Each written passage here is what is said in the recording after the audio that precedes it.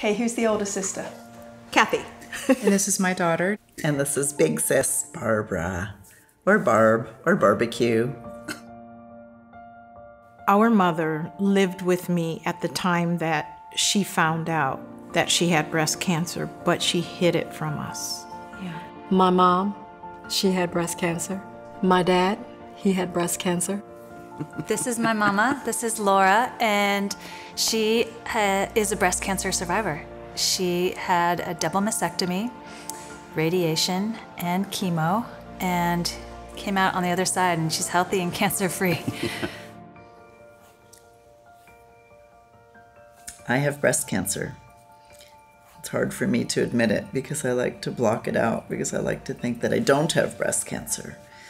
Because I got breast cancer 18 years ago, but it came back and it's in my bones. And it's not curable when it's in the bones. I'm not able to adopt those words because it's too horrifying to me.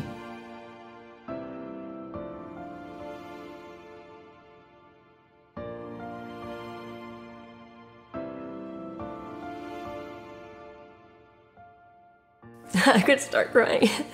When I read, when I got that letter, I started crying. I called my daughter, I called my sister.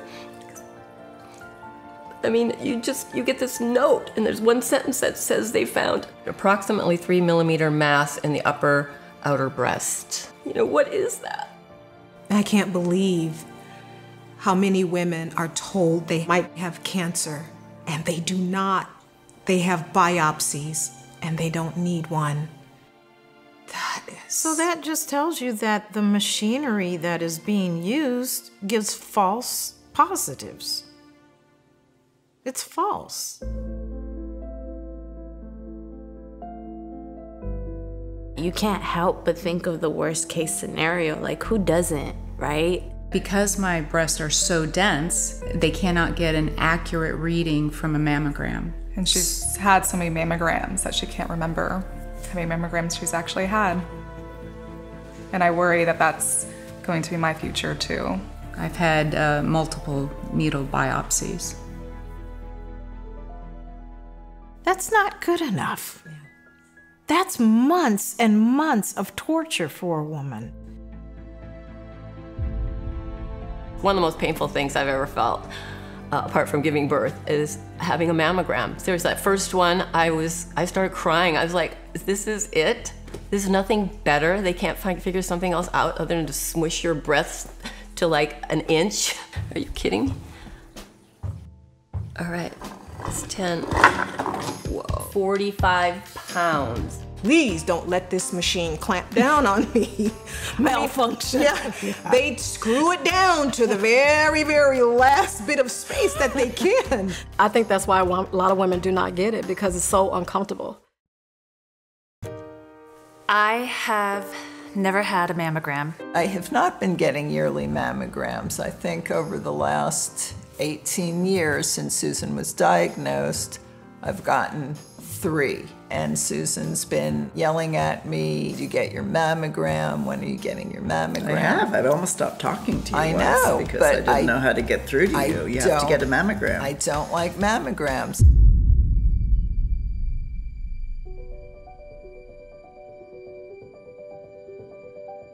The, the younger, you the are, young, the worse kind of breast cancer you get. 19 years old, first lump. Did the ultrasound, did the biopsy. Thank God it was benign. Around 25, a second lump appeared. That's the thing that gets me when it can be prevented. It's a good time to be a woman. No, it's a great time to be a woman. What was the experience like of the scan? Oh my gosh. It's like body temperature, yeah. so you don't feel whether it's hot or cold. I had no idea what I was walking into. It felt comforting and okay. It smells perfect. Yeah, it's not hot or cold.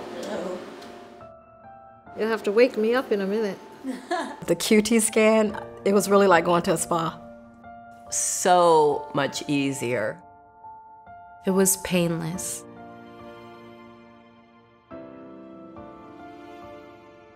I would do it three times a year if necessary. Ah, we have that on tape. I would. We're all done. You okay there? I hate to interrupt your rest. When I took the QT exam, they found a couple of small things, which I'm not worried about, that were not found on that other machine. Right. I want to know every little thing Right. about what's going on in my body. If one has fear because, oh, I might get a false positive going in for a mammogram, that if there's this calm procedure, there is no reason not to go forward, not one iota of a reason. We need to be more aware of what's going on with our body. That's it.